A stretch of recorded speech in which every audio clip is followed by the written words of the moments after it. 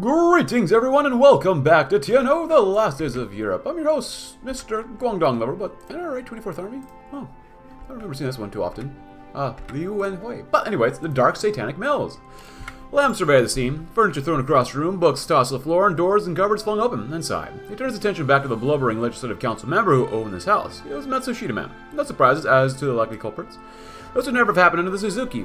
Under, under Suzuki, the man shrieked his voice sawing through Lam's skull. Him or Matsuzawa, that dog is destroying this place, don't you see, don't you see? Lam bobbed his head mechanically in response and scribbling down the man's words in his notebook. He assured the man that the police would do their best to find the perpetrators of this crime, only to be met with another round of shrill denunciations. As little as Lam cared for the man, he understood his concern. The chief executive was letting his dogs run off the leash and terrorizing the entire country in the process. The police, shot through with Hitachi men, were unlikely to be of much help. Despite that knowledge, despite the practiced cynicism that took in root in Lam's soul, his heart couldn't help but tear a little when his captain told him not to investigate the incident any further. He supposed he wasn't too much different from the Matsushita man in a certain way. Both were trapped in Komai's hexscape, staring down a future that was uncertain, only that they did not know which sin would drag them under first. Tomorrow, and tomorrow, and tomorrow, as we're purging the innards, which I believe I read last time. So if you want to read this one, please go ahead. And I believe I also read Necessary Sacrifices. I can see I just reloaded the game save, but whatever. So if you want to read this again, please go ahead. Necessary Sacrifices, because, you know, we're all, we're all making sacrifices here, but some comments include after this Komai run, can you do a TNO submod run with the submod called Sony Plus? Well, maybe we'll see. Eventually, probably. Disciplinary action. Um, Matsushita learned quickly that the one-on-one -on -one meetings with the chief executive were never a good sign. There were excuses for Komai to tear into him over some perceived slight or failure. Today was no exception, of course. I cannot stress enough, Matsushita. It's vital for the well-being of our government that we maintain decorum. Perhaps you're men of their grievances, but their open contempt of government policy on the LegCo floor only serves to demean themselves and the council. I understand, Chief Executive. It won't happen again. The Matsushita tried not to spit his words out like rancid meat. All they had done was object to an absurd proposal from one of the Hitachi legislators. Matsushita was only here because he couldn't whip enough votes for him, frankly. I was a little glad he failed. Good, Komai said, and I hope we'll not have this conversation again. Yokoi's negotiators been an expense. I shouldn't have it at all. Matsushita bit his cheek to suppress an angry outburst, so that was why the three of his men were in the hospital. Because of those thugs, you know, Komai continued. If the representatives continue to conduct themselves in such a disagreeable manner, I may have to revisit the contracts they hold with the government. The fake smile he plastered on his face was replaced by a stern, faux, fatherly gaze. I don't want to do this, Masaharu, but help me ensure I don't have to do this. Matsushita gave a silent, chastised nod. His nails dug into his palms so deep that they were starting to draw blood. Would Konosuke put up with this? Doesn't matter. He's not here right now. Uh, there you go. We're done. Someone is elected Prime Minister in Finland, but we don't care. Target markets? Well, we're already uh, marketing to Argentina, Chile, Kingdom, Italy, Italy, Italy, Italy, Italy. Render under Kaiser, uh, Caesar. Uh, drops of rainwater trickled down the window pane, cascading gradually and gently down the begrimed glass and absorbing into the slab of concrete below, paralleling the beads of frigid sweat flowing down Yamauchi's neck, soaking the colors on his business attire. The papers before him, roughly assembled upon his desk, caused his head to throb as he attempted to grasp a lamentable reality. His hands trembled with worry and regret. The rows and rows of paragraphs and reports coalesced into one incoherent mass in his fatigued and overburdened mind, akin to a pillar of immovable stone exerting its monumental pressure upon his fragile psyche. Look at this, yay. Uh, three successive knocks, knocks which echoed endlessly through Yamauchi's ear canal, drawing his attention towards a small wooden door opposite his desk. Um, the crumbling businessman signaled for them to enter with an exhaustive whimper, but the door promptly opened, or slammed open, revealing three figures dressed in the distinctive colors of the Kempeitai. Their expressions stern and rigid, weapons of suppression strapped to their sides. One man stepped forward and nonchalantly placed a document before Yamauchi, expectantly glaring towards him. Surrender of all private assets, corporation with the Hitachi. Those are the only uh, comprehensible uh, segments that Yamauchi could interpret before obscuring mental miss return. He tried to protest. He wanted to speak his mind, but he could not. These men were not here for the reason, for a reason. They're not here to negotiate. They were here to obtain a signature, and that's all that mattered. Pen was put to paper. The last semblance of hope and optimism draining the pitch black ink into the, onto the dotted line. The sound of falling raindrops were getting louder, and the skies overhead darkened. A storm would soon appear. A little fall of rain in the theater of security. The theater began to buzz with activity. Speakers began to transport voices and music into the room, echoing off the walls of the cramped little flat. Sai sat lackadaisically upon his bed, listening to every word spoken by the figure of authority being blasted into the room, nodding his head slightly in agreement as a booming voice read the, the crimes of, of, a cadre of dissident journalists putting, putting on, being put on for trial for causing disorder among the populace. You listen to this, I shouted to one of his roommates, busy at work with on a small clay sculpture. Yeah, the roommate replied. I think they ought to get what they deserve. Maybe this government ain't too bad. At least one has the decency to clean the filth off the streets, I replied, his eyes fixed on the antenna of the radio. His roommate, preoccupied with other tasks at hand, merely muttered a few words of agreement. As he continued to draw marks using a toothpick of a slab on a slab of clay, the silence culminating with a loud bang of a gavel and the handing down of the sentence followed by ecstatic cheers. We'll be back to normal soon, so I thought. Soon. And then the radio switched off. Never never be seen again. As our efforts to comprehensively... Ooh, there goes Iberia. As our efforts to comprehensively expel all elements of dissent from one pristine the, from the once pristine pearls continue to advance. Our plans for the compulsory relocation of the incarcerated dissidents need to be cemented alongside the progression of the other matters. While dislodging them to be the expansive rural regions of Guangdong may seem the most obvious and efficient solution, it does not completely achieve our purpose of keeping them from the public eye, as a rather meager size of our state and extensive amount of dissidents may lead to accidents which we would rather avoid. Um, uh, it has become apparent that the most viable and reasonable solution would be to contact our benefactors to the north, the Nissan Corporation, and the lucrative breadbasket of the Manchukuo, abundant with the vacant territories and away from any unwanted prying eyes. Therefore, we will transport all captured dissidents and their families to the factories and fields of Manchukuo, where they will toil away beneath the guardianship of Nissan. Undoubtedly, this will strengthen our ties and grow our favorability with the largest backer, as well as effectively silencing the embers of dis disobedience once and for all. No need for dissidents, though the factories and mines of Manchukuo are hiring. Nice. Ah, this will give us a seat thing to do. Oh, we can do this one too. A bit more growth here. A model worth replicating. The operations undertaken by Nissan and Manchukuo have resulted in their immense growth and unprecedented generation of profits under the aegis of Mangyo. Removing ourselves from further interaction with these brilliant businessmen would be no better than robbing Guangdong's similarly grand future. Let's emulate Nissan's practice in the country, as well as on the basis of their valued advice, in order to attain the true prosperity that we seek. You will be forgotten. Those, uh, the unmistakable clatters of plastic heels against the firm concrete floor that Wang Ping Ong jolted awake. Head still hazy and eyeballs so dry from a horror night sever, uh, severed. He couldn't tell how many pairs of boots were heading this way. Four or five? He tried his darndest to pry open his eyelids, but then came the shouts and the wrestling and yanking on the bruised, scrawny arm, forcing him into the feet as if intended to tear him to shreds on the spot. He felt his hand slide into a row of iron bars, and since finally flooded back to him. They were dragging him out of his cell. He was actually leaving that dark, gleaming cubicle heck on earth behind him. As he was escorted down the pitch-black hallway, his mind flashed from the scene to vivid scene. From the crudely made banners in the hands, to the sirens and cordons encircling the campus, to Adit's uh, teary eyes and desperate wails as he hauled away from his by from his love by the thugs in khaki. As he marched on, he saw the end of the tunnel, the gleaming moonlight beckoning him from the other side. Perhaps it would all be over soon, as thoughts crescendo. It's only been five days after all. Certainly soon enough for a complete rescission of arrests. A truncheon blow rippled across his brain, and both his legs gave out at once. He dropped his knees, all remaining in his mind a haze of stupefaction, and a deafening ringing in his ears blocking him from from whatever the heck is being babbled on and on about. Treason. He can no longer make out a single sense. Guilty. He stared blankly at the carpet of weathered grass beneath him, showing in ivory, ghastly moonlight. Sentence you to immediate execution. The last gold barrel of a Nambu injected one more instant of lucidity into Wang Ping'an before oblivion erupted from the back of his head and devoured him whole.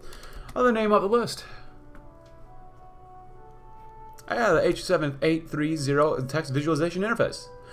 The dawn of the integrated circuit continues to advance computer technology at lightning speed. The latest innovation comes courtesy of Hitachi, the H7830, a television screen that, when attached to the computer, displays the live feed of both the inputs and outputs of the computer's processing. This eliminates the need for printed outputs, and makes coding much easier as errors can be spotted in real time. With so much added efficiency and ease of use, they'll surely see widespread adoption in the future. A computer with a screen, who would have thought? Beautiful. 25% real growth. It's a decent amount. Decent amount.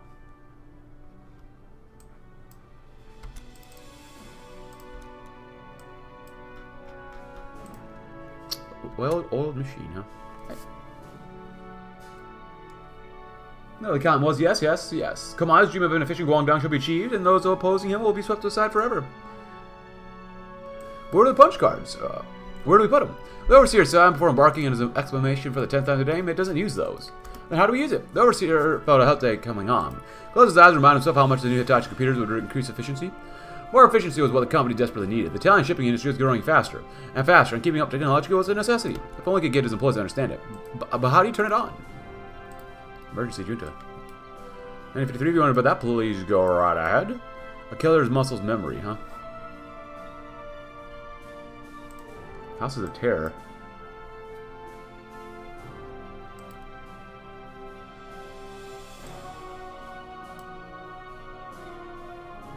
Of Terror sounds like fun. Pre-Hitachi criminal investigation interrogation procedures were an utter farce. Too many summary executions, too much undeserved leniency given to those with sleazy rodents. One disgrace after another congregated an utterly disgusting failure of law enforcement. No more, rats don't deserve freedom. Rats don't even deserve death. The only fate a captured rat deserves is scuttling on the hot coal or drowning in its own sewage for eternity until it spews its innards out for us, or else I'll never see the light of day again. Oh, this one next for. Uh, Dorak, uh, Doriatsu Kai Chui. Of the Mangyo is success. As the most excellent chief executive is aware, that Mangyo Manchu Jukogyo Kaihatsu Kabushiki Gaisha, or the Mangyo shore, was established by the Imperial Guangdong Army to industrialize the Manchurian Empire and render it self-sufficient in the heavy and, eventually light industry. At the beginning, Mangyo wished to be the build of the success of the South Manchurian Railway Corporation and subsidiaries, such as the Showa Steel Works, however. Over the last two decades, Mangyo has made even though these great successes look pathetic by comparison. Has successfully transformed Manchuria into an economic powerhouse and the pearl of the co-prosperity sphere through a combination of ruthless industrialization, zealous development, and vigorous unremitting production. Mangyo has truly become an engine for the fulfillment of our ambitions. The Manchurian model is elevated and correct. What is needed is that we have come to Guangdong to promote it. What we need, we have precisely, to preoccupy ourselves with safety regulations or the welfare of the average worker. One need only ask the fallen states of Western Europe, which wasted their precious time and money bothering with such fo foibles, where that has gone. Look where that has gotten them. We urge the chief executive to carry on unremittingly with transforming Guangdong, taking Mangyo's an honorable and elevated example. I'm only too happy to. Come on. Thanks, Komai. 3.4. Oh, that's not good. Crack down.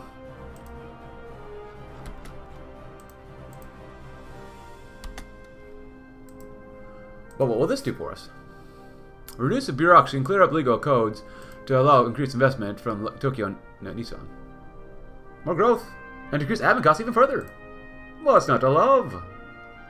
Superior approval. Um, I think I read this one before. If you want to this, please go ahead.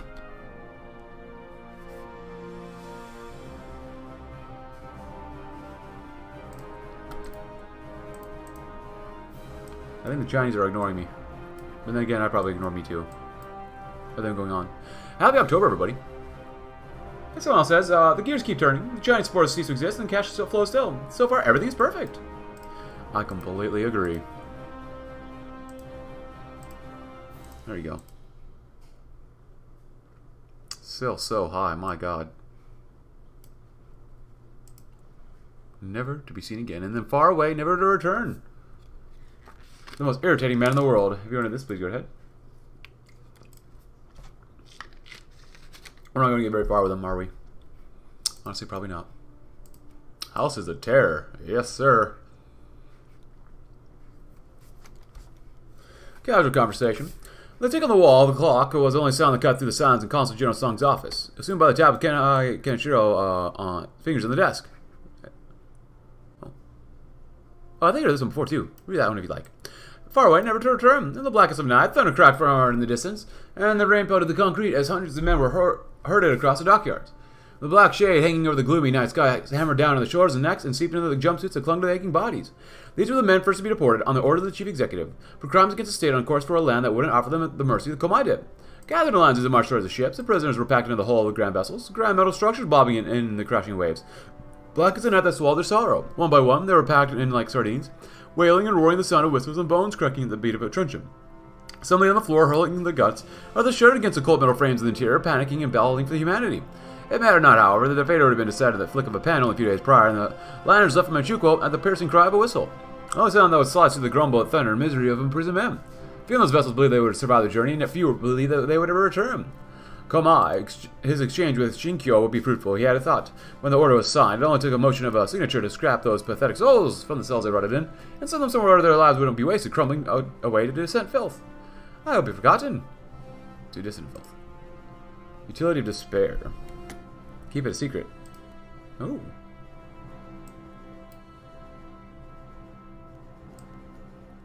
Favor for Matsushita. Let's see. Utility to spare.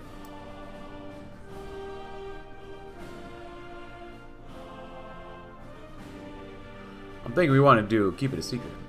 Oh, good morning, Matsushita. Trust you are welcome. I was grinning, turning up the charm all he could, his words dripping with plastic friendliness. His face was full of this fake sincerity. Matsushita was unimpressed. I preferred if you could just please get to the point, he said. Why did you call me here?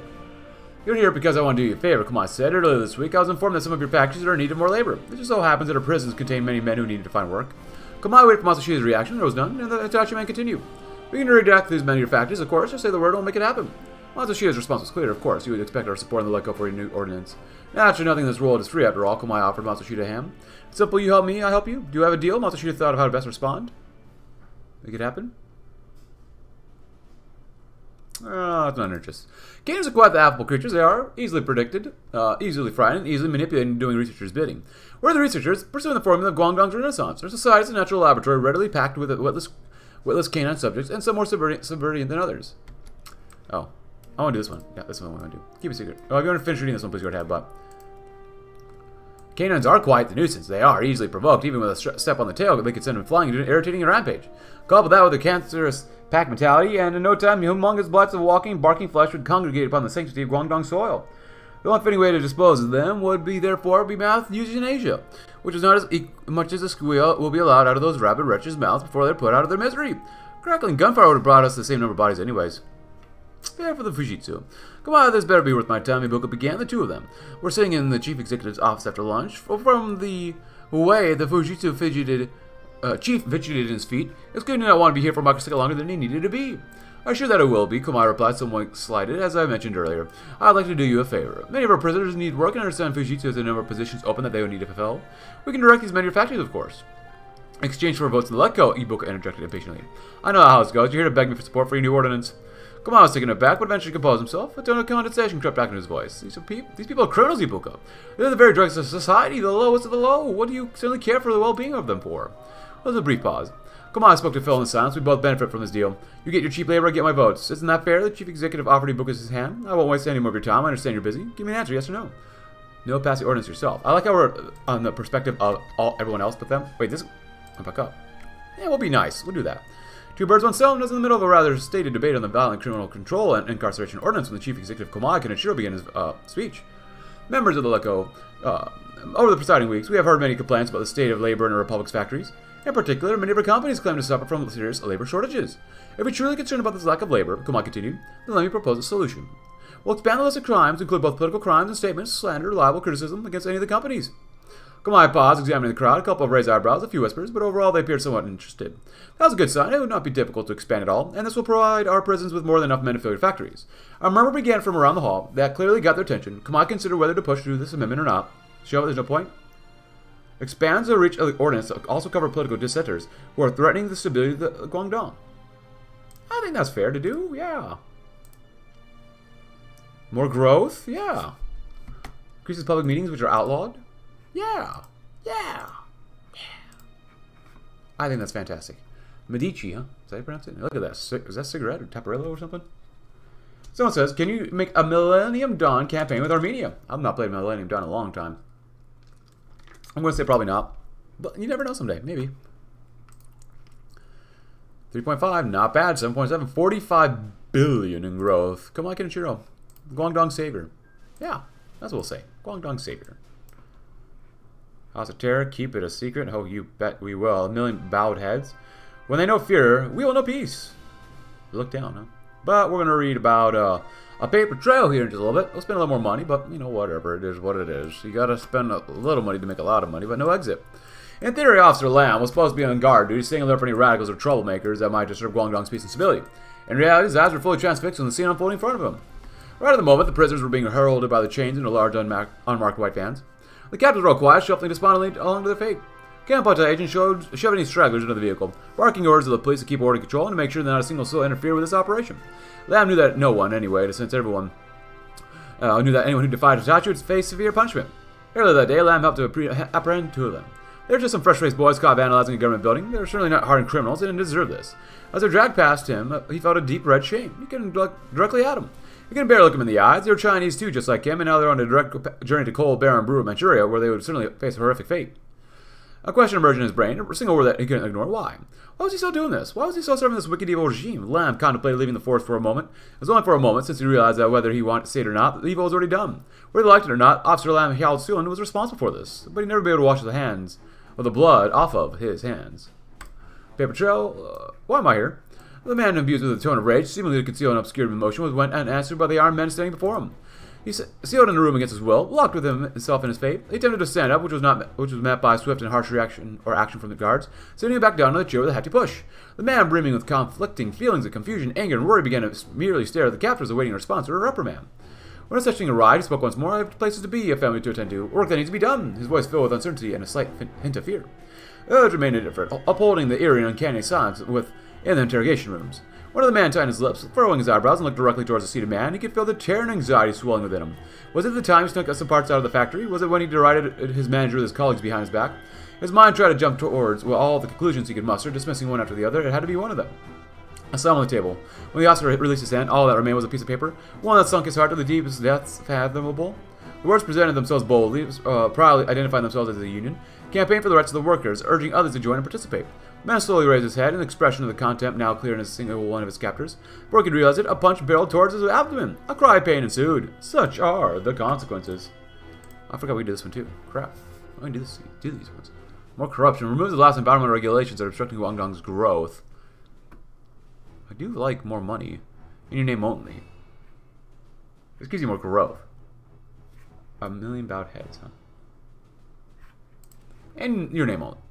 If we took additional steps of offering these exclusive contracts, the standards of services offered by them and, and, save us a significant amount of money while strengthening our relationship with our reputable and distinguishing partners. It's not just a necessity to work along Nissan, it is a privilege, and offering those contracts to them can only benefit our economic development. Contracts Nissan, nice. More stability too, I showed this one earlier, and more growth. I love it. The Hitachi ecosystem will be added to our assorted laws, of course. Ah, beautiful. Zero percent support. And we got like four guys here who are Zujin who support us too. Not bad. Expats? Well, they mostly, almost all love us. You wrote about 1955? Please go right ahead too.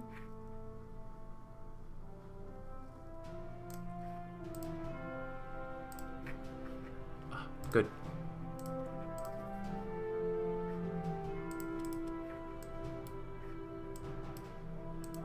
Do here? 70? Yeah, probably. Four days left. Well, we go. Oh, there's back. Blast sucks, Italy. Sucks for you. Sorry. Huh.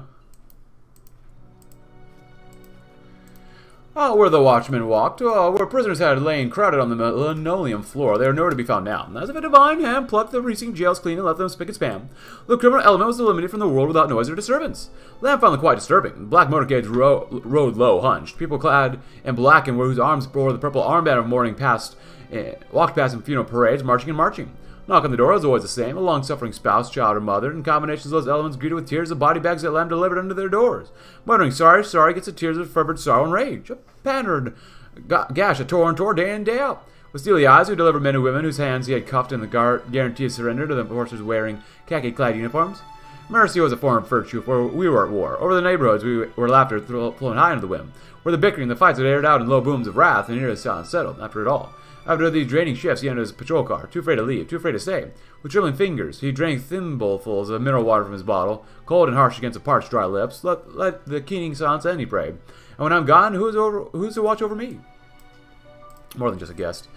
And in the Nissan Corporation, we see not a tool nor expendable superfluous accessory for growth, but instead a reliable and trustworthy economic partner, and a patron that will guide us towards the and the past gates of prosperity. Nissan is an organization that has proven to be of extreme benefit to us, and has aided and supported us in our previous endeavors of economic reorganization, and assisted us in generating profits and capital that we could not have imagined. A sizable portion of the, of the desirable credit of Guangdong's success under the administration of Hitachi rightfully belongs to Nissan, achieving and accomplishing more for our benefit than any other existing entity aside from Hitachi and our chief executive himself. It's evident that we must ensure that a productive partnership must continue to proliferate in Guangdong's future. And, as if to ma be maintained, uh, it'll bring upon us an endless era of pr uh, prosperity and plentiness. Plenteousness. Underneath Sun Manchukuo's guiding, guiding hand, Guangdong sees the lights of Asia's future. Down the telephone wire, voting on the Entrepreneurial Recovery Ordinance will commence. It'll happen in 20 days. Beautiful. Yeah, you got another one too. Nice. Oh my god.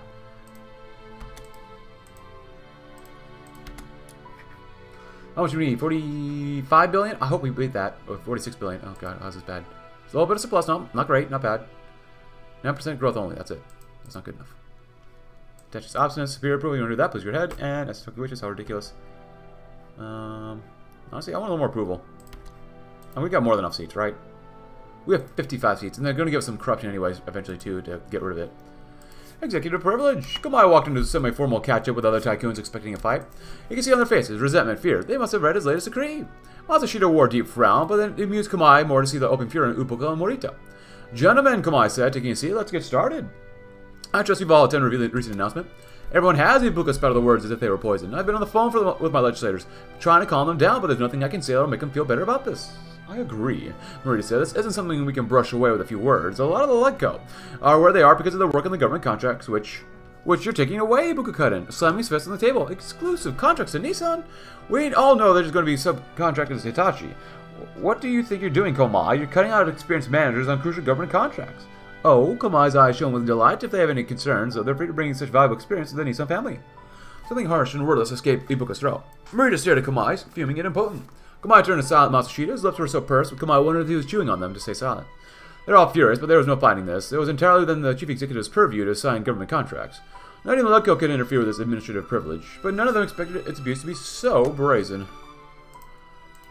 Sucks to suck. A million bowed heads. A police state. A humanitarian, humanitarian hellhole. Such are the dozens upon dozens of condemnations conjured up and lobbied at us by the weak-hearted hypocrites, resting upon their own mountains of loot across the lands and seas. To those adversaries we testify, all are true, and in this place we would take utmost unrepentant pride. But what are duteous children if not subject to the harshest of floggings, to the harshest of discipline? What has it become of the Pan-Asian man? Were he to succumb to the greatest vice of all and defile himself with treachery? The rising sun, of course, permits no such error. Up above in the firmament she gleams, and delivers her crimson rays upon every obedient citizen, every turning cog, of course, and every bar of gold to grace his oasis of prosperity, and those who dare to defy her light, only scorches, or only scorched bones will remain. Absolutely. Happy February, everybody. Down the telephone wire, huh? Down the telephone wire. 47 billion is not enough, though. Economic review, let's get back to work. Mm. Dang it, well, I guess a little bit more too. Ooh, 5%, nice. Now we can burn it then. Oh, yeah, we're going to burn it all. Screw it. In the early hours of the morning, as the midnight, midday, midnight lunar uh, glare hang over the obsidian sky, and as if the twink, sky, city's twinkling lights freckled the skyline, Komai swung back in his chair with the tele oh, phone line cable reaching all the way to his right ear. His stretched body revealed his tight ivory shirt, usually hidden within his ink black suit, nearly buttoned up and his tie hanging over one side as he relaxed in his office. Come on. Uh, spoke slowly into the phone, unlike me, grunting quietly with one arm raised to pat his gray head of hair. He remembered short responses in between moments of silence. He was on the phone to a representative of Nissan from within Manchukuo. They spoke for a short while. Each of Komai's senses were strung together with aquil aquiline precision. His voice, tired and coarse, muttered simple congratulations and gratitude to his economic partner. After all has been done, I'll have toiled tirelessly to get this illustrious nation back to work. I thank you for your part in this. Guangdong will get our industrious, industrious roots uh, under my premiership. Riches will flow down this river like never before, of course. After the short condemnation and flush of exhaustion, a great gust of air escaped Komai's lungs once he had hung up, and the ache in his tense shoulders released. A few minutes passed where all he could do was stare at the air in front of him, uh, unhunched over his desk and immobilized by his fatigue. Uh, flickering the, uh, until the flickering neon fluorescent of the city had seized his arrested attention. The piece of success uh, is fleeting but satisfactory. Oh, yes. Absolutely. Alright. Well, only 9% growth, like I said, really kind of sucks. Especially when you're using like 25%. Oh my god. We need more growth. More growth. Zero waste, my friends. Come on, can't you poured waste. You do not mean to waste in the traditional sense. The plush leather sofas procured for a room in his sum of public funds were a welcome source of comfort. You know qualms over spending two months' salary for a tailored suit, nor did he feel much more than mild distaste at his slight set of garbage bags piled upon each other on the street. They all had a purpose, or it served them to their natural conclusion. They deserve some respect. You know their purpose had been to be consumed and discarded. What then could Komai say about the vagrants and beggars who litter the streets of Guangdong? Nothing. Taking and consuming for themselves without any contribution of their own in return. Not that they had much to offer, at least they had. Sure, they would have avoided their miserable fate. The entrepreneurial recovery ordinance could help, come on, I suppose. You've been toying with adding a provision for zero-hour contracts, allowing an employer to hire someone purely at, for at-will tasks, with no obligations for minimum hours of pay. Had been a popular among his managers, who didn't like the prospect of a workforce that could be paid less and abused more. No, he had hoped he had gone unnoticed. It had gone unnoticed by the king. Komai demonstrated his worth, his worth, in extracting every ounce of labor from his new fiefdom. All that remained was passing the LegCo, a body that he hoped would prove more useful than wasteful. LegCo could prove their, else, their worth on something else, Guangdong must be pruned of weeds. Add zero-hour contracts. Implements contracts that contain a cap on the amount of work hours a week. Nice. One million is a statistic. Dogs, rats, maggots. Oh, we have expunged those reprehensible vermin form from every corner on our map. With fewer than hundreds left walking and tainting this earth, how have we dutifully channeled the arsenal of terror, disciplined ourselves with chains and bullets, and suffocated ourselves with waterboards, and called upon whatever vicious gadgets and unforgiving measures Guangdong so dearly demands of us? Because who we are to turn our backs on the wells of distress, to sit idly by the side of her uh, diseased physique, pale, emaciated, yet eternally pregnant with riches. Even as the stars turn and the years elapse, so many remain uh, who would decry our righteousness and devotion as cruelty, tyranny, and barbarism. All we did was come to Guangdong aid and protect her, as we continue to until the day our souls expire against the ghastly and all-devouring night. Back and call. Come stood to the podium, his eyes dispassionately scanning the lines of his speech.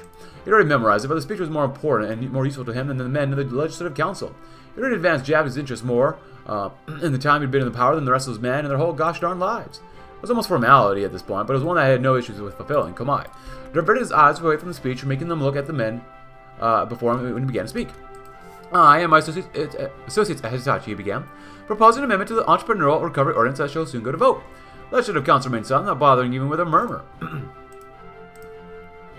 um, all their rapt attention was focused on Komai and what he had to say. Komai expressed a smirk. They knew who was in charge and who was important, who was important in Guangdong.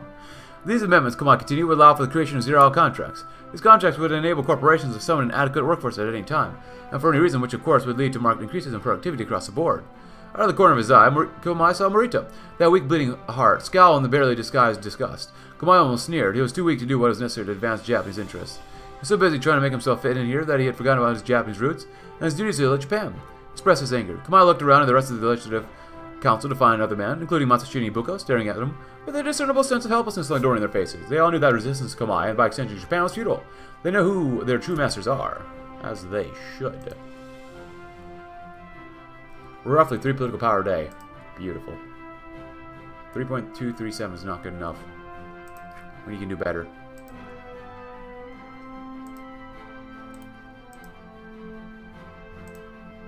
Zero percent. Hurts of growth.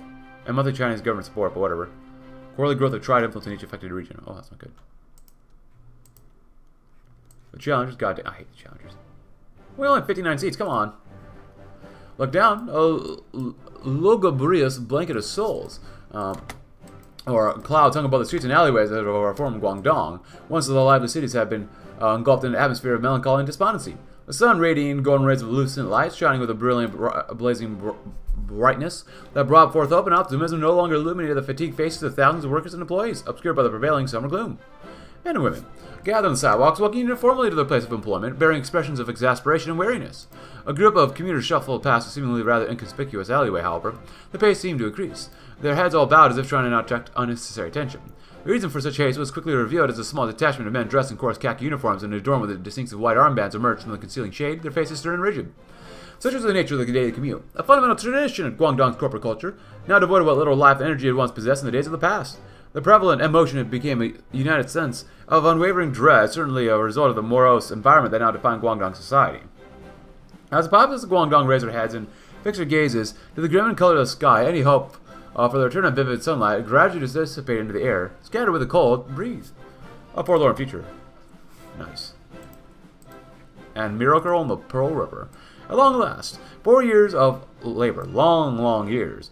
Four painstaking years to cleanse Guangdong of savagery and bring her back under the rising sun's light now.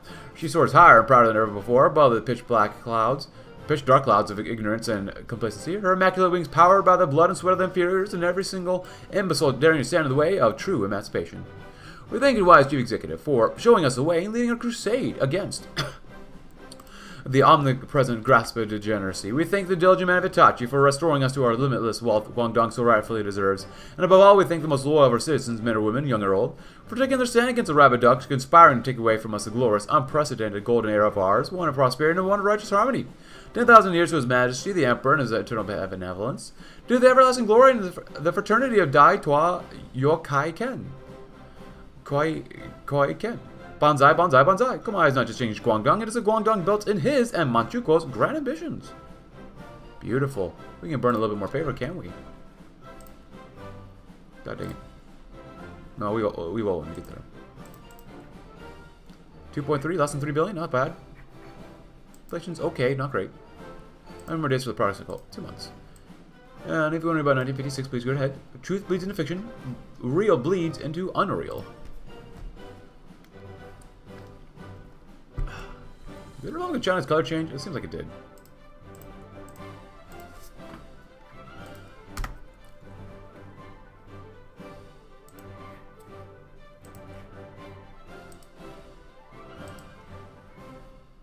Meet Japanese representatives. Yes, we will. A thousand hands. After I, uh, last I drove myself to death. I wonder how many of us are in this tiny, tiny part of the city. Last I remember, there are 500 in this building. I wonder how many are just like me, but just like us in other cities in the entire country. Here in the building are a thousand hands or that men in the factories to the brink of death. Here in this building are hundreds of people like me who survive only by the blocks of instant ramen. And I cannot even taste what minimal flavor there is in packouts anymore, or packets anymore. There's no time to enjoy myself for the moment, let alone rest. When I can rest, it only takes a moment for me to hear a cacophony of sounds screaming, the footsteps of the police, items thrown, desperate pleas by young and old alike. How much more must a thousand bodies be beaten into our bone shatter and they are no more? How much more must I dream of, of the police coming to me for having these thoughts until, and those dreams being interrupted by the subjects? Unit 127, above my Unit 117, is being rated as I write this. Their screams haunt me. The pleas by the, children and parents are plastered like wallpaper everywhere I see. In the factories, on the facades of buildings, on the very walls that surround me right now, I cannot help but think, what if I spared myself the inhumanity now? There's one to my right. I know more than who have taken the path I'm talking about, even more though who, who did not want to. The person who was my previous neighbor, I wish I learned his name, jumped. Another used knives. One more went to the river. All I want to go is anywhere but here. So do I, you know, I once wanted to sing. How can I do so now when I bear witness to horror all around me? I can only sing of horror. Horror to which I live. Horror to which I wish to die. The most irritating man in the world, and unwelcome advice. Night terrors. Why Sarah starts up suddenly in her bed, uh, a tense to panicky mess. Her jaw trembles, her breaths are heavy, or strained. She almost screams, but seeing the familiar four walls of her room, just about manages to stifle it. Immediately she jolts her head over the side, and there she finds the dawn's pale light on Chun and Hay, both still fast asleep. Still both here at least, and she calms slightly. It was the same nightmare again, the one that had appeared in her dreams a few weeks ago, and never left her night since. The screaming they always came first, from either Chun or Hay, sometimes both. They'll be choking, controlled, each of them held down by a horde of armed black shadowy men. Itachi, or Kempeitai didn't matter. The brothers would always call out to Wai, pleading, begging for her to help. All the while she'd be helpless, every muscle fiber frozen. She watched as the men chained their every limb, making sure they couldn't escape. She couldn't look away as the men yanked them away into the darkness, and that was where it always ended. Why completely, thoroughly alone, crying for her long vanishing brothers. Sometimes the dream was so palpable, so vivid, so vivid, that it was difficult to tell the real from the unreal. At least they were both asleep now. It was fitful, yes, but she knew that she needed they needed anything they could get, especially for Chun, since one-sided one side sleep to provide mistake to the next unsafe machine and cost him his life, and so Wyatt curls back on her own thin covers, trying to feel any warmth as she can, feeling the tears on her cheeks, but trying not to sob, trying not to close her eyes. Present fears are less than horrible imaginings. Yeah, I know. Imagine get, being able to get to sleep at night. That'd be that's totally not relatable. Not stressed out or anxious or anything like that. Totally not. But you know, whatever. Hey, better dust for XP. Hey, there's some good out of this. Uh, good. This is all good. It's all good. Innovative industry. The party's over. The match is worn off. Yoshiko thought perhaps the trappings were the same, but the veneer of the party is peeling. The band was thinner, and then in times past, it played slower, more downbeat. The laughter previously unrestrained is now dispersed cautiously, and the opera voice is just a pitch lower as of all Guangdong's Japanese league dance the night away, tiptoeing around the enormous elephant that stared him right in the faces. But then there would be no hedging, no middle ground. You either work with Itachi as many did while gritting their teeth, or you prepare to leave for the home islands, departing with the face-saving excuse of better opportunities back home. By the time an older woman in a garish pink number approached her, Yoshiko found the conversations increasingly tiresome, but the older woman spoke first, and politeness compelled Yoshiko to stay. Hello, Yoshiko. Oh, I'm leaving so soon. That's fine. We'll just catch up back in Japan, then I'll whenever you're back. None of that's an option for me, Yoshiko replied. What little family I have there doesn't want to see my face. The older woman's face suddenly changes. She frowns, and her eyebrows raise in what is an obvious concern. Her face darted from left to right, and her voice dropped to a whisper. You know it's not safe here, she said.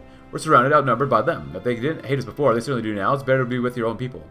And who's responsible for that, Yoshiko wanted to say. What a complete farce, but she kept her thoughts to herself, gave the older woman a small and sincere smile and said, Thank you for your advice, but I think it's better for me to stay. And see what happens. It's May. It's May, May, May, May, May. We have two weeks until the product cycle. We don't need more political power. I just want to cut down the debt, man. 4.000009%. 100% centralized. I like how we can see this up here too. The belts on the canal. Straight to Gibraltar. Oh. Atlantropa, I miss you. Huh. Israel's pretty thick. Brick to marble. Come on, Kenichiro stood atop a colossal skyscraper soaring above the buildings and streets present on the ground. Around his hour, the maelstrom of vibrant and kaleidoscopic neon lights his coast should begin to animate itself, accompanied by the chatter and footsteps of workers and employees returning to their modest residences, and continuing upon the mundane routines from up here. The thousands of people below seem uh, Lilliputian to Komai, insignificant morsels, and specks that only live to serve a system and purpose more than grand and noble than their own livelihoods. His mind went adrift with a calming evening breeze, landing upon memories of the Guangdong he had once inherited. A serene land besmirched and deprived by the apathy and lenience of his inattentive predecessors, men like the lethargic Suzuki or the puppet that was Matsuzawa. Komai peered, peered once more towards the distant horizon and felt a feeling of accomplishment. He wrestled Guangdong from the grasp of inefficiency, utterly exterminated and expunged any notion of descent from the hinterlands of the Three Pearls, it was a bringer of enlightenment, akin to Prometheus bringing the gift of fire. Under the laudable administration of Hitachi, he had transformed Guangdong's operational apparatus and resuscitated her economy, creating a glorious miracle upon the banks of the Pearl River. The memories of his commendable achievements slowly subsided in his mind, and his thoughts now centered upon the most important matter of all, the future. Under his auspices and authority, he may now have initiated the process of Guangdong's necessary transformation, yet it is still far from complete. As Komai turned around and prepared to descend the symbol of the descendancy, Ascendancy, an old quote appeared in his mind, a quote that illustrated the prosperity that his deeds had brought thus far. A, spoke, a quote spoken by a man whose career paralleled his own. I found Rome a er, city of bricks and left it a city of marble. The past and the future. The center cannot hold. The dinner host hosted that night at an upmarket restaurant in the Japanese district of Koshu, untouched by the disturbances still plaguing larger parts of the country. Kono Miyazaki is happy with Komai concessions and lockstep with Mangyo Nissan. They've been authorized to stamp out dissent by any means necessary. General Nagano agrees with Miyazaki's assessment, predicting that China's resistance will dissipate as soon as they are reminded that Japan is not to be trifled with, of course. They adapt after the war, he says, and they will adapt again. Consul General Takashima nods. Let's have a glass of wine, says nothing. He knows it's not Japan, but the Chinese will come to fear, but their army, millions of bayonets, eviscerating anything that stands in the way, just as the Japanese themselves had learned to fear them. A few miles away, China's Consul General Song is also indulging in drinking with uh, one of his aides, Wang Jingzhu, but out of despair rather than celebration. Song never saw the horrors of Manchukuo in the 30s, but he can see them here now. Komai is turning the country into a abattoir. Nanjing is doing nothing besides giving Komai the occasional light reprimand. Wang suggests scaling up operations in Guangdong. So far, their attempts to help the Chinese population have proven inadequate. It's time to consider more direct measures, he says. Song without speaking nods. Guangdong is pulled ever deeper into the abyss. But we have the Hitac 10 mini computer. High performance. Has a wide variety of applications. As we just want to make sure we're as successful as possible, of course. Oh, yes. Corrupt officials, yes. Yes, yes, yes.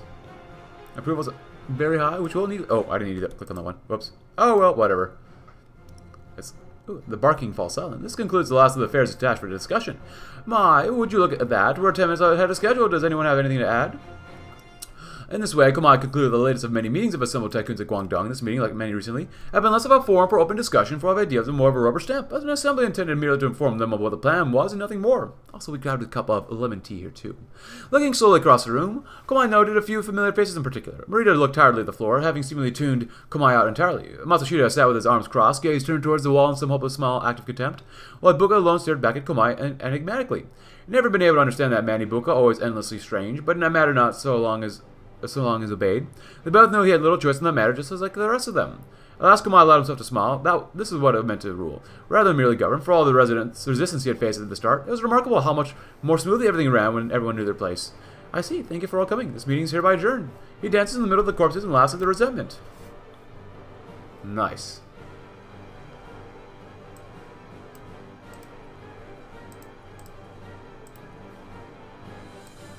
Life goes on. Life in Guangdong goes on its own way. It always has and always will. Does not mean most people experiencing this life are able to enjoy it. In Guangdong cities, the people shuffle by each other with few to no words, too number, numb by fear and paranoia to hold a conversation. Hitachi billboards and government loudspeakers proclaim to, for all here the benefits of Pan-Asian cooperation. People have learned to ignore the billboards and tune out the loudspeakers, but they're not truly here to inform the masses of opportunity. They're here to humiliate and warn of the omnipresent nature of Hitachi. When they're able to, people speak to each other exclusively in hushed tones, and when they're not, they say only what is strictly necessary. The markets conduct business within eerie silence, watched closely by the Kempeitai patrols and frequently interrupted by the passing of police and military vehicles. Uh, the rural settlements uh, scattered across Guangdong are governed by a slightly different policy. Curfews are strict and orders secured by force. And anybody who disagrees with this quickly disappears. Security checks are conducted on those boarding trains or buses head for cities, none dare to struggle against this.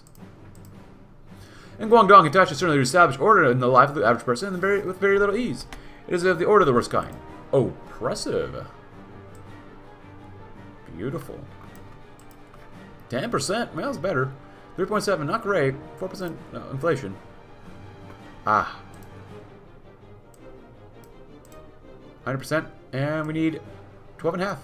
Which, I guess we overkilled it again. But, you know, whatever. Happy July, everybody.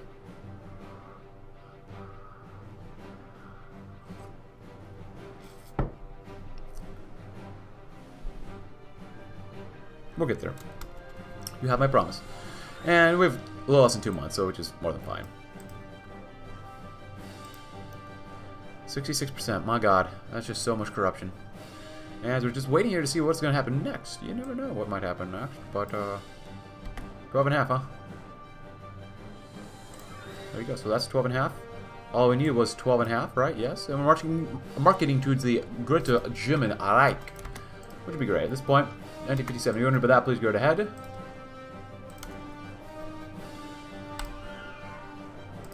And after this one, we'll do this one. Flexible autom autom automation techniques. One.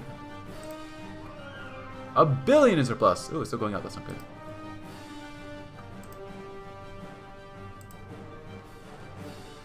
Hey, 1.24%. More than double than what we had earlier. And we have like two guys that support us. And, and no, not, not, not good enough. That makes me feel a little better, but still not great, obviously. Yeah, no wonder it's a little higher now. A full billion, huh? But we're just kind of hanging out, waiting. The Hitac 10 microcomputer, the first computer to be truly portable. Hitachi's new Hitac 10 microcomputer takes advantage of advancements in integrated circuits to pack the power of a basic mainframe computer into a package small enough to be steadily and easily transported by a single person. Fascinating. What doesn't need to be attached to a large system of machines or processors, which limits its commercial appeal to industry and research uses. The fact that a function computer can be made at such a small size represents a serious step forward. Also, the first computer built to support Shogun, a sphere's first widely available simplified uh, programming language. This allows Hitac 10 to be customized to meet each individual's user needs. So we'll be putting them in our pockets. Yeah, huh, go figure. Lowered our approval with Japan, but you know, whatever. With 27, almost 29% growth, can we really complain? Yes, we can. We can do better than that. But at this point, like I said, like I said we're just kind of waiting for uh, no crisis to occur. That's right, no crisis will occur ever. Not under Komai Kenichiro. But I want to read about the German event too. Yeah, Kingdom of Siberia versus uh, USSR. Oh boy. The Build Back Better, Hitachi Way. Komai Kenichiro forced a pleasant smile on his face as he watched Minister Erhard agonizingly review the more than 100 pages of proposal Hitachi submitted to the Reich's Ministry of Economics on the importation, importation of construction equipment. After would seem like an eternity of silence, the minister looked up. The ministry will have to conduct further reviews of the proposal. It appears uh, sound from my initial inspection, however. Keep in mind that all offered equipment will be uh, first be subjected to independent qualification testing before they can be approved for use on state-sponsored construction projects. Komai struggled to hold his tongue. He knew very well that Hitachi's construction equipment exceeded the quality of their German counterparts on every possible metric, and from the very thought that the Reich would doubt their handiwork made his blood boil. Still, he can afford to let the mask slip this deep into the belly of the beast. With Germany in the middle of an unprecedented economic boom as a result of the Fuhrer and Erhard's policies, our domestic construction industry was left unable to keep up with demand. It's actually a once-in-a-lifetime opportunity to enter the German market by selling some construction equipment or even taking on construction contracts themselves. Once again, Komai was needed to play the gentleman, for the good of Hitachi, for the good of Guangdong, and for the good of the Empire. Minister Erhard. It's been an honor to be granted this audience. Aftershocks. Even if the fires of the Middle Eastern oil fields were a world away from Guangdong, The effects were so palpable in the media. Plastics, that wonder material so useful in insulating electronics and absorbing the heat generated by Guangdong's mirror product catalog. When the flow stopped of oil, the flow of oil stopped. The hoarding began first by companies that could see the storm approaching, then by the average consumer when the average price had risen. So, if you want to read the rest of this, please go ahead, but the machine comes to a halt in the end. Another decade, another disaster on the Pearl River. The Chinese workers, the Republic of China, the Zhejiang middlemen will no longer stand for Hitachi's oppression. And it sets our political power to 500, which is completely unfair to us, but whatever. Guangdong thirst. Guangdong, an entity defined by our immaculate serenity and the delightful omnipresent aurora of prosperity. A paragon of economic stability and success, a pinnacle of social concord and solidarity. Must ensure that this image of Guangdong, an image of triumph and success, is protected and upheld with diligence against the destructive forces lingering around our state. The ocean of global markets is stirring with intensified vigor. There are temp uh, tempestuous and turbulent waves threatening to engulf the pristine pearl of Guangdong in perpetual darkness as the supply of oil plummets, threatening the livelihoods of our devoted citizens. Though the drastic increase in oil price may only seem like a temporary issue, barely affecting the daily happenings of society as of current, it's apparent that if this appears indeed to be a prolonged crisis, the three pearls will be devastated and the economic stability of Guangdong will be in peril. Our chief executive and the administration will conceive of solutions to this looming disaster in order for Guangdong to maintain her grace and decency, and her coffers must be remain fulfilled. The ship of Guangdong shall survive this endeavor, for there's no storms we cannot weather, and good times and bad that the master provides. As it should. Trial by fire. As a shadow of yet another crisis looms over the territories and businesses of Guangdong, its ghastly and horrendous uh, form causing the decline of so many of our prized institutions, our chief executive, Komai Kenichiro, once again must take the, up the burden of state and clear the obstructions in Guangdong's glorious and righteous path to continue to triumph and success. Did the great men of yore not have to face challenges in their ascent to promise and power? Did Caesar, Alexander, and Napoleon not have to face adversities on their own paths to grandeur and victory? Well, Cressa shall not be Komai's Waterloo instead. It shall act as Komai's Austerlitz, a trial of endurance and benefit of the administrative apparatus that our chief executive has bestowed upon us, another obstacle to surmount that will further prove the success of Hitachi's rule over the three pearls. The administration and our chief executive shall be ready. It might not be easy. It might not be smooth, but we shall emerge from the flames emboldened and strengthened. The future ahead of us. Guangdong will survive. Hitachi's Guangdong, though, or Komai's. Sounding the alarm. One early morning, an army of bureau salarymen rushed into the office of the manager, who, until that moment, relaxing quite comfortably. The manager looked up with eyes, wide eyes on, on rushing businessmen. Oil prices are skyrocketing, one of the salarymen shouts. The investors are shorting. The salaryman leaned over to the manager's desk, waiting breathlessly for his response. The manager stared at them quizzically. Then the danger registered, and he fell out of his chair, and the man scrambled for the phone. The first domino falls. Ill news. An aide handed Komai Kansai's typewritten page. The title read, Government Report, Effects of the Oil Crisis on the Guangdong Stocks. The news was dire. The crisis already causing a severe downturn in stock prices. And general worse than the longer things went on like this. The report projected that many businesses would be shuttered even if the crisis were remediated. Komai heaved a great sigh. We must push on with a resolve, he said, uh, to no one in particular. Will the resolve be enough on the shoulders of the one man? Komai Kenichiro can help but feel he'd been tapped by the fate, ends of fate. All great men in all great countries must face a great adversity. How else can they prove their quality? As the economic throes of the oil crisis rippled across the world, Komai became more and more convinced that he, this was his moment. The moment he would prove his strength and thereby Guangdong's. He alone set the throne of blood and iron, and he alone would be the man who carries his country through the great ordeal. Cutbacks would be necessary. Mass firings or temporary reductions in output would have to be instituted across the uh, country before the oil shortage struck. A great strain would be placed upon the people, but ultimately it would be all for the better. Komai would save Guangdong because Komai was Guangdong. This was his moment. An economy besieged. Chief Executive Komai is of the view that further failure to pass more comprehensive economic measures is unjustifiable given the gravity of the current situation. Accordingly, it is directed that the budget be frozen before we torn to pieces. We have no choice, no matter what we try, no other measures will suffice to stabilize the economy and ensure our hegemony over Guangdong persists. It may raise eyebrows among investors, but the times are desperate, and the oil crisis is roiling everyone economically. If you have any will dare question the wisdom of the chief executive in taking such a measure in times of terrible disease. To weather the storm, we must bat batten down the hatches and decide who we let in alongside us. More miscellaneous income, increased liquid reserves, nice. And advancements in household electronics technology, what's not to love? Besides me. Uh, an economy besieged. Great. We were doing so well, and now someone has to screw it up. Oh god, no. Oh god, no. Contraction. The oil crisis is now in full swing. Oh, I've read this one before. If you want this, please go ahead too. Use a Kempeitai. Yes, please. Hey, 52%, that's getting better. Oh, he sets off up here. Uh, pivot and push. Come on, Ken, show how to read the ports. Regarding the new crisis regarding his state. For all the oil crisis, all the news and internal signals he had been receiving in the past week were bad. With oil from the Middle East expected to dry within the upcoming weeks. Oh, well, I've read this one before. Most of the Guangdong's vital industries will also be forced to come to a grinding halt. So continue reading this, please go ahead. Yay. Air Type 29 helicopters.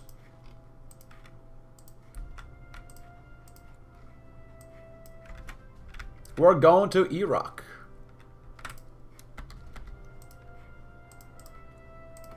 Or Iraq. Iraq, Iraq. Iraq, Iraq. We all are rocking here. Unusually, genial and crown where doesn't belong. Oh, we're opinion. Look at that. Have your fun. Yeah. Oh, good. Trial by fire, no respect for the king. Komai was supposed to be on the call with Nissan and Mangyo. He was supposed to. Oh, there's a revolution in Madagascar. I'd be having a conversation about the economic future of Guangdong. Instead, he was sitting at his desk staring at the Hitachi logo on his phone. The sight of the logo put him into a pensive, even melancholy mood. What really was worth of his government's relationship with Nissan and Mangyo? Ostensibly, it was supposed to make things better for the whole country. In some ways, they had. But he got the distinct sense they, they didn't respect him. He was king here, darn it. He was the most high sovereign of Guangdong. He was the one upon whose shoulders the fates of millions rested. But Nissan and Mangyo, they laughed at his expense, and their laughter had only grown louder over the course of the oil crisis. Why could they not see what everyone else saw, that he was the only one with the power to save Guangdong? How can one, how can a man rule without respect? Give me the phone. Survive must look to our allies with deeper pockets than ourselves. Komai will chain Guangdong closer to the Manchurians and Nissan. Oh boy. They're poisoned water. The only people Komai needs are those who know their place beneath his feet. Chief executive will push forward on his own system and assert himself. The executive's order. Our loyal and devoted citizens, the lifeblood of Guangdong's productive engine, assists assets that will determine the fate of Guangdong's uncertain yet bright future, building blocks that serve to support Guangdong's continued state of perpetual prosperity. These pieces. Pawns in the grand design of a chief executive must be kept in calm and useful, as they are the key to protecting Guangdong and her serenity from the menace of this oil crisis. Our chief executive shall interrupt the regularly scheduled programming of Guangdong's televisions and radios and instead broadcast a message, one of hope and assurances, requesting the faith and trust of the populace so that they may be united in the battle against the vicious elements of this looming crisis. Though the words may not be entirely genuine, there's no doubt that it will serve its purpose and be, that the masses of the three bros will be kept in check. When the chief executive speaks, people listen. They will respect me. Mind churning. Komai turned away from the phone and looked out of the window. His, uh, at a city, his country. What would it take you to extricate Nissan and Mangyo from Guangdong? What would it take to render them important to the power structure of the country? It would take effort, for one thing. Nissan was tangled up in Guangdong like vines through a brick wall. They could resist his efforts, so they needed to make sure that the resistance came to naught, though. But circumstances was on Komai's side. There was an oil crisis in progress, and had he just learned that a great many companies, including Guangdong's Marius, were suffering, the crisis made it possible to deal blow to a company that they'd otherwise recover from. With that in mind, a plan-side attack took shape in his mind. They will all respect me, Komai said. Nissan, Mangyo, the Zaibatsu, the people, they will all respect me. Time to go to war. in The Eastern, Middle Eastern boondoggle. If you want to read this, please go ahead. So it sounds like there's two options for us here. We could go with Hitachi, and uh, or going with just by ourselves, of course, and pushing forward no matter what. Or we could maybe even... Uh, ooh, do we have a crisis here? Only 9%, huh? Um, we need how much? 53? Oh, yeah, we'll, get there. Um, go by ourselves or go with Nissan in them. So maybe there's two routes here we could do? I'm kind of open to either one, so that sounds like fun to me. Doing both, eventually, as long as I don't get killed by trying to dismantle things, empty hands. Uh, whereas Yuhin to his finest children food eat, store after store after, after store had been cleaned dry the product if any had been at all. Those who do have something to sell have little offer. One employee at one of the stores he visited offered a single cup of yogurt. He bought it, but cannot sustain him or his children. He trudges on, peering through the closed folding gates and empty storefronts. Nothing. Absolutely nothing. At least a superstore. Uh, up the road will have something, he thinks. Yeah, uh, though. Will it? The prices only rise further and further, and there will be even less to fight over. What happens to people like him? No one is unaffected, but there's a few who are less affected than others. Yun Hin is not one of them, unfortunately. There's a is now near, nearby. He speeds up his gait. The scene he sees next is terrible. Food and drink are strewn around the floor. Shards of glass sprinkle the scene intermittently. He dares not step in the store further, lest he falls and slip into the mess. From his vantage point, he sees someone lying prone near aisle 12. They're wearing a blue shirt and black pants. They probably got trampled, praying for their health, but knowing that they're most likely dead, he steps out. Yuhan and the kids would not eat today. The very limit. The chief executive tapped his slick black fountain pen atop his mahogany desk. He contemplated his choices, his fingers squeezing his wrinkled forehead. Uh, the documents and reports placed before him puzzled his conscience. How does such a thing happen? The framed paintings resting upon his decorative wall seemed to stare towards him, with contempt, berating him for his failures, for his ineptitudes, for his indecisiveness. He felt the walls of his office inching slowly and gradually towards him, with the intention of crushing him to dust. He slammed his fists onto the desk as his surroundings reverted to normal, taking exasperated deep breaths as a couple of sheets of paper glided off his table and onto the wood floor. Komai sat and forced himself to stand up, gathering the fallen papers from the floor and straining them upon his desk. He looked towards the economic report he held, skimming over the contents and focusing entirely upon the number representing Guangdong's substantial deficit. He clenched his lips in frustration as he slammed the papers back onto his desk and continued to gaze at the graphs and charts. It was untenable, he thought. He would have to implement drastic measures. The budget was his main problem. If he wanted to rescue Guangdong from the time of catastrophic fiscal peril, the only option he had was to freeze a budget. It was necessary, he assured himself. Komai lifted his cell phone after another deep breath, punching in the numbers of the ministry needed. Had a couple of rings, the line was connected. Yes, hello? Freeze it the beginning. But with the beginning there, we're going to end the episode there. If you enjoyed the video, though, leave a like, subscribe if you're new. Check out my Discord link in the description below, and I'll see you tomorrow. We'll see what we can do to save Guangdong from itself and maybe even Nissan. Thanks for watching. Have a great rest of your day.